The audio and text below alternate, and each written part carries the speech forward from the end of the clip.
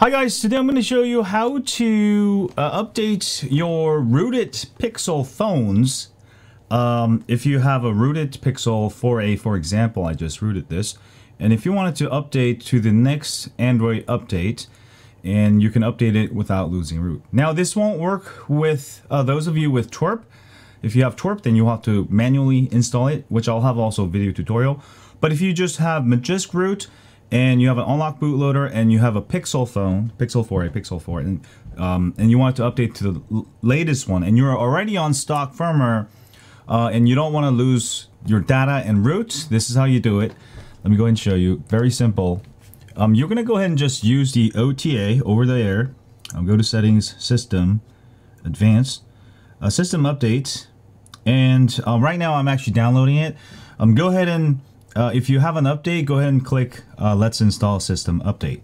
And it will start downloading and then it will start uh, installing the system update. So I'll be back when this completes. Okay guys, uh, when it says system uh, update is done, restart now, don't reboot yet. What you're going to do is go into your Magisk Manager, right? And we're going to go into install and we're going to install to inactive slot after OTA. All right, hit OK. Let's go.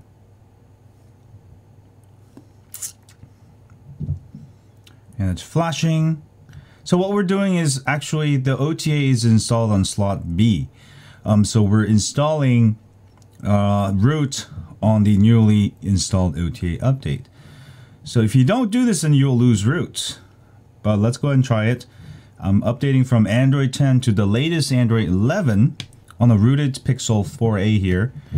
And that way you can keep root. Anytime you need to do OTA updates, you can do it. Use this method. Again, this method will only work if you don't have TWRP recovery installed. Because if you have TWRP recovery installed, um, it might not work. It might work too. I actually haven't tried.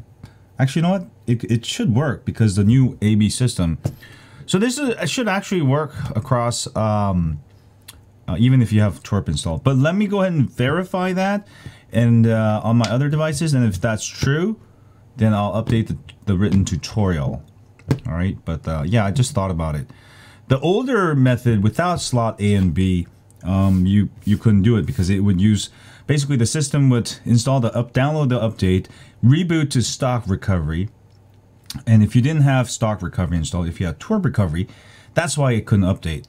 But with the new AB slot method, uh, Google is installing the update without actually rebooting into stock recovery. So it should work in theory, but I haven't tried it. So that's why I'm a little cautious. And let me see if we are on Android 11 and boom shakalaka. Oops. No. Yay! Android 11, baby. Should be on Android 11. I have not lost my apps. I still have Magisk working fully. All right. Checking up SafetyNet. Will it pass? Success! And boom shakalaka, baby. Um, so that's how you do it. And this, yeah, like like I said, this should work on any rooted Pixel. Um, the newer Pixels that use slot A and B. I forget top of my head the original Pixel. I think we started doing uh, A and B with Pixel 2 or 3.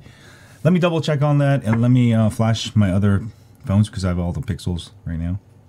And we'll get back to you.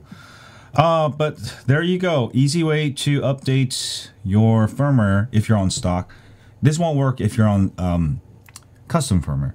Have a great day. And as always, stay